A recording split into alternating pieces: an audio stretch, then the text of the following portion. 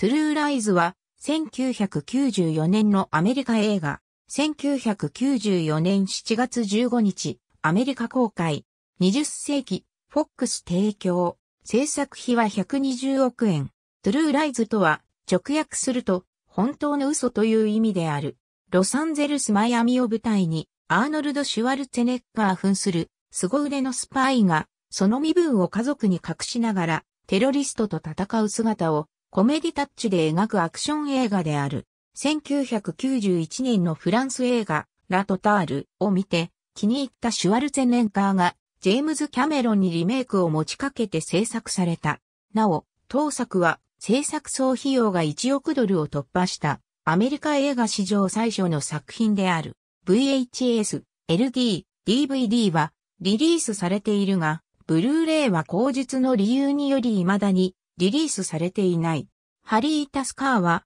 妻、娘と共にロサンゼルスで暮らすコンピュータ会社のセールスマン。だが、彼の本当の姿は大統領直属の国家保安組織オメガセクター所属のスパイだった。彼は中東で暗躍するテロリストの資金ルート解明という使命を帯び、その鍵を握っているとされる古美術商の女、ジュノに接近する。だが、彼女と行動を共にしていた。テログループ真紅のジハードのリーダー、アジズはハリーを不審に思い、手下と共に彼の命を狙うが、間一髪でハリーはこれを撃退するもアジズは逃がしてしまう。このごたごたで、ホームパーティーの約束を破ってしまったハリーは、謝罪しようと、妻、ヘレンが勤める法律事務所に向かうが、そこで見たのは見知らぬ男と密会の約束の電話をしていた。ヘレンの姿だった。ハリーはヘレンが男と不倫していると思い込み、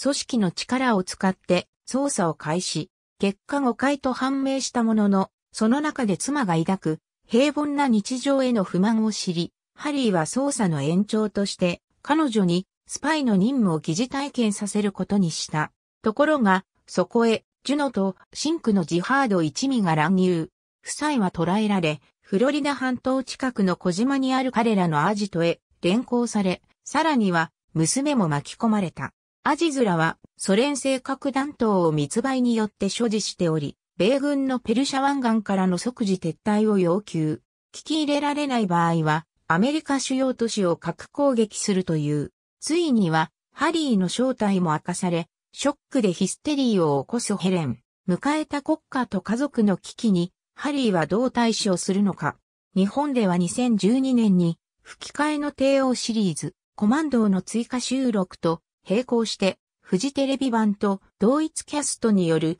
初回放送時にカットされた部分の追加録音も行われ、完成版として存在しているが、この音源が収録されたソフトの発売や放送等は行われていない。BS 放送等では、たびたび HV 放送がされている。撮影に用いられたハリアー戦闘機のレプリカ、ありがとうございます。